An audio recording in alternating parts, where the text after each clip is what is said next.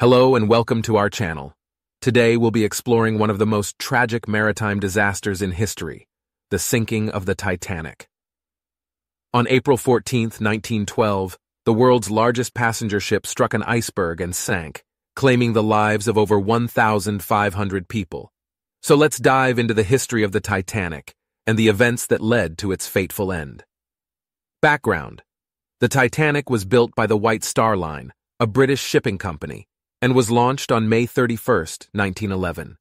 It was the largest ship of its time, measuring over 880 feet long and 175 feet tall, and had a capacity of over 2,200 passengers and crew members. The ship was designed to be luxurious, with grand dining rooms, a swimming pool, and even a squash court. The Voyage On April 10, 1912, the Titanic set sail on its maiden voyage from Southampton, England, bound for New York City. The ship made stops in Cherbourg, France, and Queenstown, Ireland, before setting out across the Atlantic. Despite warnings of icebergs in the area, the Titanic's crew maintained a steady course and speed. The disaster.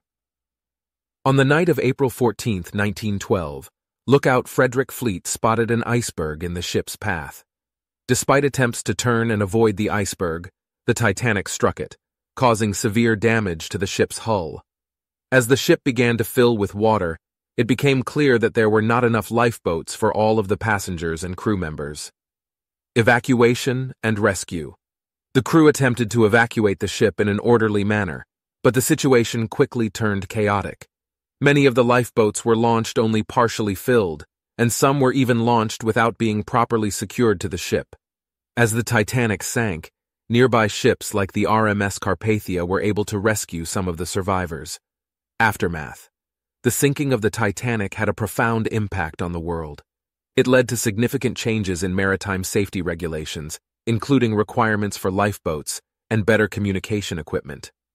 The disaster also highlighted the social inequalities of the time, as many of the lower class passengers were unable to access the lifeboats due to their position on the ship.